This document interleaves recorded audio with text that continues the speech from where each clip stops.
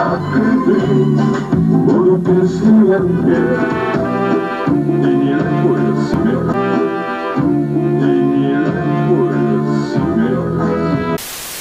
Сегодня ночью в шестой городской больнице скончался Михаил Круг. Известного тверского певца привезли в операционную с двумя огнестрельными ранениями. Одна пуля пробила легкое, другая попала в плечо. Михаилу сделали срочную операцию, однако она не спасла ему жизнь. По официальной версии милиции, на коттедж, где жил Круг, было совершено разбойное нападение. По словам соседей, не так давно Михаил предложил им установить в домах по улице громкую связь, чтобы в любой момент можно было прийти друг другу на помощь. Возможно, он предчувствовал беду. Конечно, каждый автор тешит себя мыслью, что э, и его будут любить, и любить, и продолжать. Не хочется говорить какое-то слово, э, связанное с кончиной. Э, Конечно, каждый хоть человек хочет пожить, по, быть полезным, э, если он патриот своей родине, маленькой родине, малой родине, большой, широкой, великой родине России. Я, конечно же, э, сижу, представляю себе, э, что будет дальше. Дальше, как руку положит на сердце, как, как случится. Это случилось сегодня после полуночи в поселке Мамулино. В коттедж, где Михаил жил вместе с женой и детьми, ворвались двое в масках. Пока не ясно, как преступники попали в дом. Первой на их пути оказалась теща певца. Женщину ударили по голове, и на ее крик выбежал Михаил. В него стреляли дважды из пистолета ТТ с глушителем. Смертельно раненый Круг нашел в себе силы выйти из дома и позвать на помощь. В больницу его отвезли соседи. Дом всегда открыт. Дом все на распашку. Всегда, всегда, всегда, понимаете? Человек-то какой. По словам сотрудников милиции, в этот вечер Круг должен был быть в отъезде, но неожиданно изменил планы. По всей видимости, преступники не рассчитывали встретить в доме самого хозяина. Музыканты, с которыми работал Михаил, также считают, что Круг погиб по нелепой случайности. Хотя не исключено, что убийство известного шансонье как-то связано с его коммерческой деятельностью.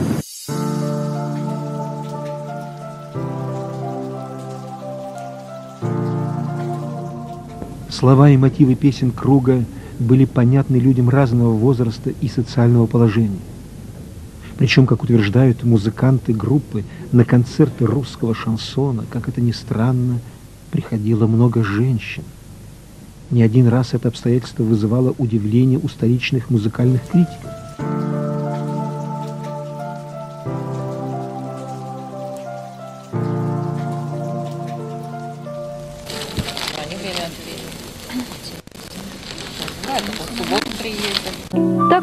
Провожали еще никого. От центральной площади до нового и старого моста нельзя было ни пройти, ни проехать на машине. Возле драмтеатра не протолкнуться. Море венков и букетов. Огромный портрет певца. Проститься с Михаилом Кругом пришли тысячи тверитян. Ситуация до сих пор непонятна, что произошло. Но самое главное, как я понимаю, произошла трагедия. Трагедия в нашем искусстве. Потому что, чтобы не говорили про Круга, я его диски слышал и в машинах таксистов, и в машине министра России. То есть его воспринимали все, что как бы он ни пел и как бы ни относились. Проститься с Михаилом Кругом пришли сотни горожан. У гроба стояли первые лица города и области, известные певцы и музыканты, все те, кого с Михаилом связывала настоящая дружба. Для меня Миша было, ну, сказать друг, это ничего не сказать. Это было нечто и больше. Я думаю, как и для всех. Я прошу прощения, видно, я не могу говорить. У гроба Михаила стояли молча. А если и говорили, то только о нем и о причине его трагической смерти. Как вы восприняли известие о его гибели?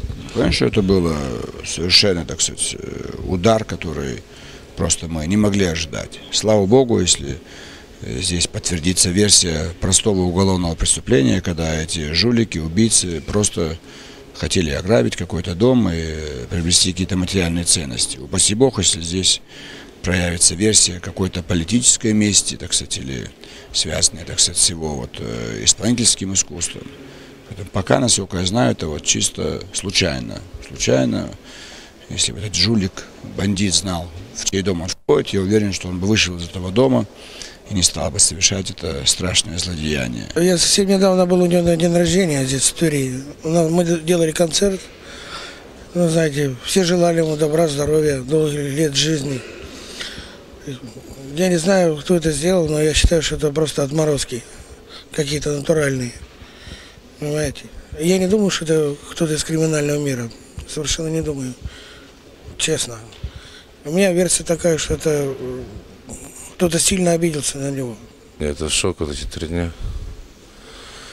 Что произошло? В нашей стране происходит только то, что может произойти только в ней. То есть он... Если сейчас мы забудем, что это, это об этом невозможно забыть, что он Михаил Круг. Но просто у нас свободно убивают людей в стране. Я вот только что говорил, если таких, как он, убивают, на что могут рассчитывать простые смертные люди.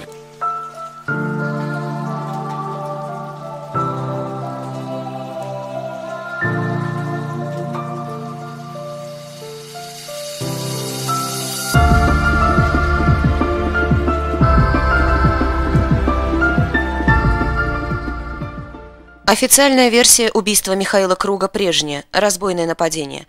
Поиском преступников занимаются лучшие силы Управления уголовного розыска УВД, Пролетарского УВД и областной прокуратуры. Сегодня на похоронах Круга было много милиции. И не только для охраны общественного порядка. Михаил, страстный автомобилист, уважал сотрудников дорожно-патрульной службы. И надо же случиться такому совпадению, что день его похорон пришелся на профессиональный праздник ГИБДД. Сказать, что это праздничное настроение, безусловно, не скажешь. Ну, день, профессиональный день наш. Ну, видимо, вот так жизнь распоряжается и судьбами нашими, э, что не всегда все благополучно складывается. Бывают и какие-то радостные моменты, но бывают, к сожалению, вот такие трагич, э, трагичные. И еще одно совпадение. Ровно год назад, 3 июля, Михаил Круг впервые исполнил гимн, посвященный 65-летию ГИБДД. Этот гимн Миша написал в соавторстве с тверским поэтом и режиссером Иваном Демидовым и профессиональный водитель, в общем, по большому счету. Он э, глубоко чтил, уважал правила, естественно, дорожного движения и с уважением относился к той профессии, к людям той профессии, которые выбрали себе несложный, нелегкий э, хлеб, а в частности инспекторов ГИБДД. Э, у них своя, так сказать, служба, у него своя, поэтому он относился к ним с большим уважением, и они платили ему тем же, потому что встречи с сколько я их не видел, всегда заканчивались всегда ну, большими друж... какой-то симпатией дружеской, взаимной. И Михаил с удовольствием расписывался на афишах, на календарях и дарил всегда сотрудникам ГИБДД. У многих, может быть, они остались теперь последними, единственными автографами, которые они получили при жизни. На музыку гимна, написанную Михаилом Кругом, Иван Демидов совместно с коллективом патрульной службы сняли клип, премьеру которого так ждал Миша.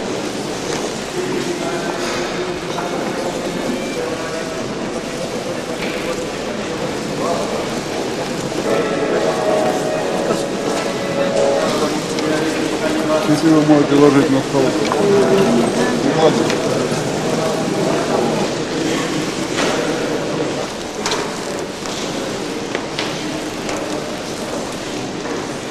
Пою, Господи, ви, услыши, Господи, глаз мой, яко человека любит Бог, прости его и помилуй.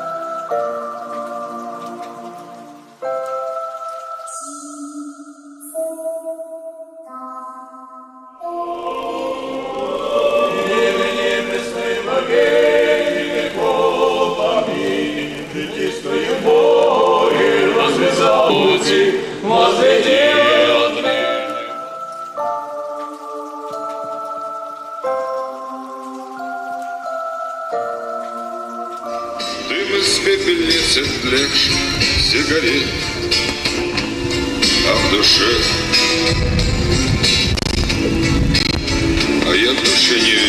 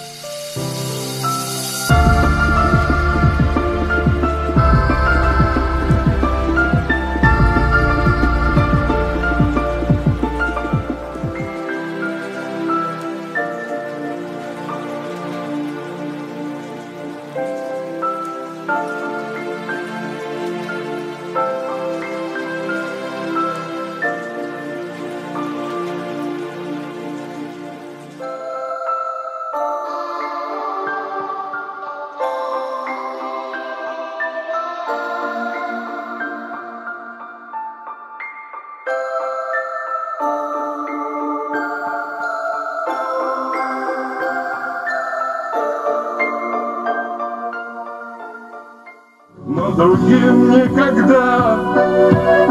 Видит Бог, я не буду, если что-то не так.